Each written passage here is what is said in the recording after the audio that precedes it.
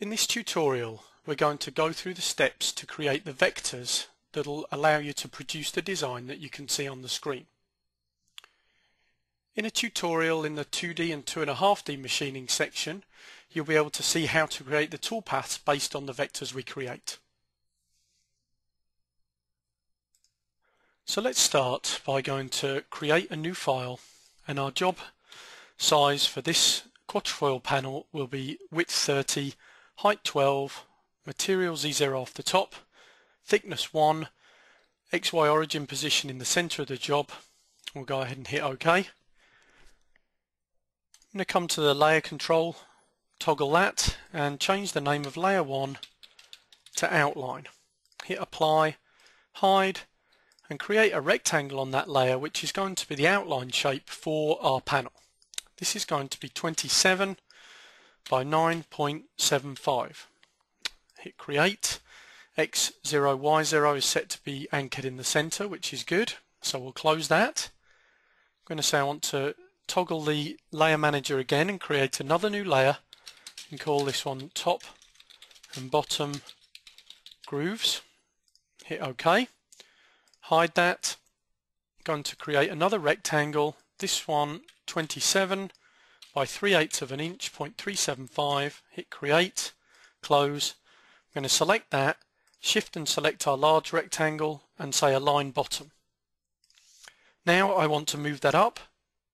I'm going to select the small rectangle, say move selected objects, relative 0.375, hit apply, close, and I want to create a vertical mirrored copy about the center of the job. This is a symmetrical part so I'm going to select that small rectangle use the shortcut on the keyboard control shift and V for a vertical mirrored copy. Next I'm going to come in and go to the layer manager again switch off the two layers I've just created objects on select uh, option for a new layer and I'm going to call this new layer foils hit OK hide that and going to draw a circle. First circle I'm going to draw is going to be at x0, y0 center, diameter of 7.5 inches, hit create. Then I'm going to change the diameter to 7, hit create again, and change the diameter to 1.5 and hit create again. Let's close that now. Select this small circle, zoom in here and I'm going to move that down so move selected objects relative to its current position and I want to go down two thirds of an inch. So I'm going to type in minus 2 divided by 3 and then I'm going to hit the equal sign in order to calculate that sum the 2 divided by 3 hit apply and that's moved my circle down two thirds of an inch. Next I'm going to copy objects in a linear or circular array. I want a circular array. I want three objects in a total angle of 360 around rotation center 0, 0.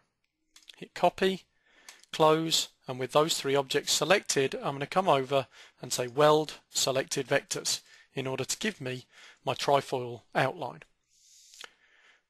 With that selected, I'm going to go ahead and hit offset selected vectors, inwards, 0.25, create sharp corners checked, hit the offset button, close, create another circle which is 1.25 diameter, select that offset the inner shape, shift and select the circle and come over and select weld selected vectors to join those.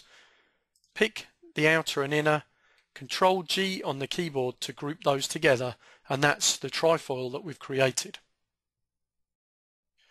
Let's now go ahead and hit F to fit the window and I'm going to select this outer circle, shift and select the inner circle, right mouse click and select copy to copy those to the clipboard.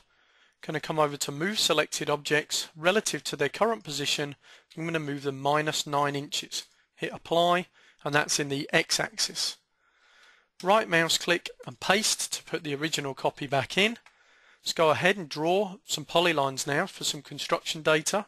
Say draw straight polyline I'm snap to the center point of this circle, snap to the center point of this circle, hit the spacebar to end the creation of that line, snap to the center point of the top circle, snap to the um, center point of the top of this circle, hit space to finish that, and then snap to the middle of each of those lines with a straight line in order to create this piece of geometry. Next, let's go ahead and take our trifoil group, shift and select this top line and say align top. Then I'm going to select this and shift and select this line and say align center. We can go ahead and delete this center line now.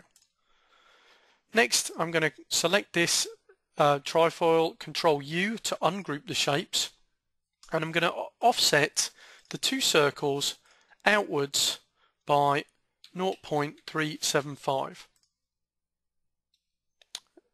Next, I'm going to grab the outline shape for the trifoil and offset that outwards by 0.375 inches as well.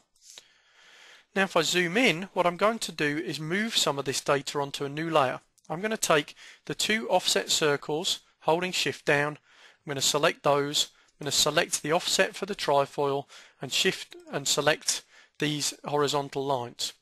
Right mouse click, so move to layer, new layer, and I'm going to call this layer vcarve and I'm going to make it visible and active. Hit OK. The layer manager I'm going to switch off the foils layer for the moment. So now we can see the shapes we've got on this vcarve layer. I'm going to select these two straight horizontal lines and I'm going to close them with a straight line. So I'm going to say join with a straight line close with a straight line. Click that twice to make a box. Now I'm going to select this box, shift and select this circle and say subtract vectors. With the result still selected, I'm going to shift and select this circle, subtract vectors. Again with the result selected, shift and select this circle, subtract vectors to give me the pieces I want.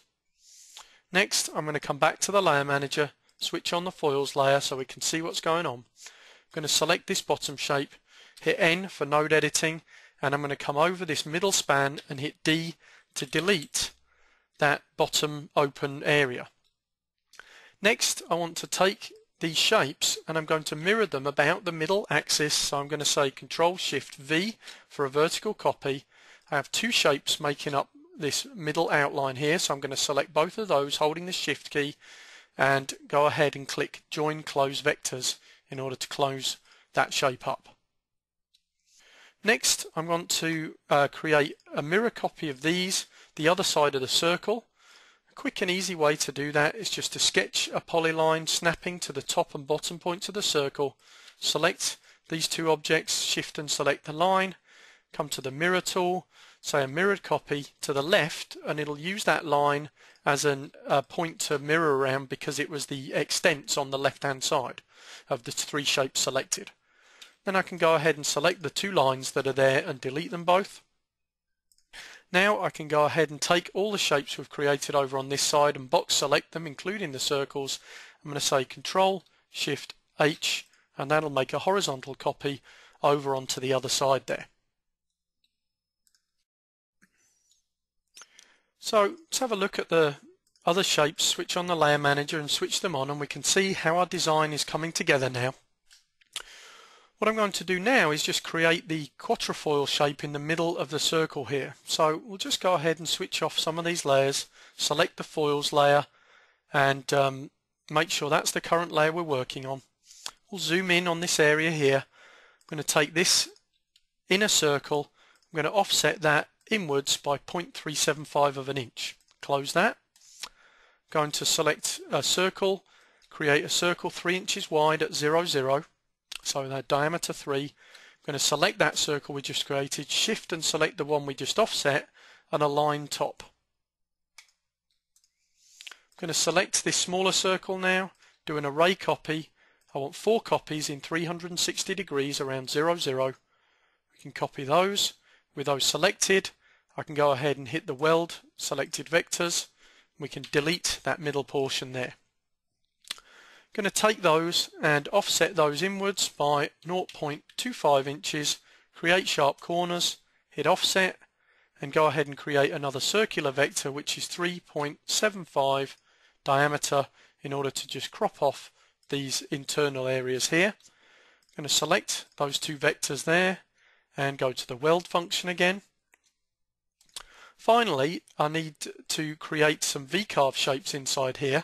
So I'm going to take this vector, I'm going to offset it outwards by 0.375 and what I want to do is take those two vectors and put them onto the V-carve layer. So I'm going to right mouse click, say move to layer, put them on the V-carve layer.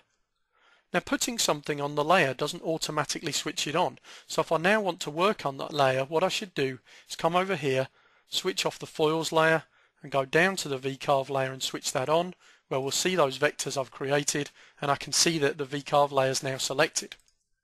Next, I can go ahead and select the circle first, shift and select this other shape and we're going to go and subtract vectors to leave us with the pieces we want for those inner shapes there. Now I can come back to the layer manager, we'll just switch on everything we've got here and we need to make some copies of those in, uh, vectors we just created inside here. So I'm going to select those four, I'm going to holding the shift key down to select all these, I'm going to select the two quatrefoil vectors. Let's just hide this for a moment. A right mouse click and copy that to the clipboard. I'm going to say move selected vectors relative minus 9 in X and hit apply, close, right mouse click and paste the middle vectors back again. And then what I want to do is just take these ones over here. So we'll just shift and select those again, control shift H to make a copy across to the other side.